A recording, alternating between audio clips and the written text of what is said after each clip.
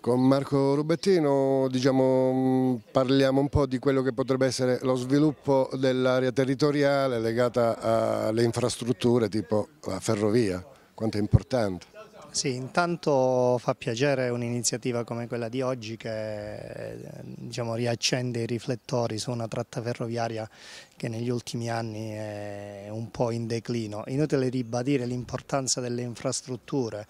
eh, per un territorio come il nostro, quindi a supporto dello sviluppo economico ma anche turistico, perché anche per la, questa linea ferroviaria si potrebbe anche eh, ripensare un, un progetto eh, nella direzione del, dello sviluppo e del supporto turistico. Quindi,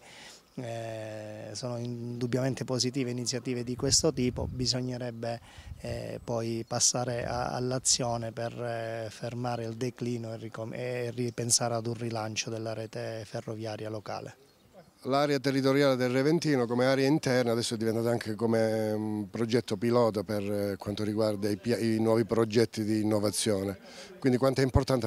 l'area del Reventino per la Regione Calabria?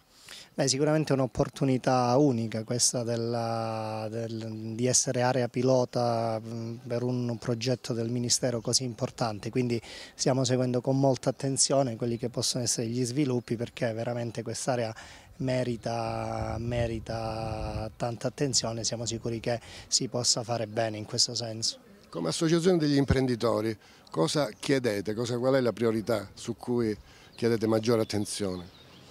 Ma eh, le, le, priorità sono tante, dalla appunto infrastrutture, eh, ricordiamo che qui a pochi, a pochi metri da qui c'è una strada che non c'è, quindi anche lì cercare di portare a termine questa, queste importanti infrastrutture, la rete ferroviaria e poi anche in termini di, di, di innovazione, discorsi infrastrutturali, infrastrutturali legati alla, alla fibra, eh, è tutto poi invece un percorso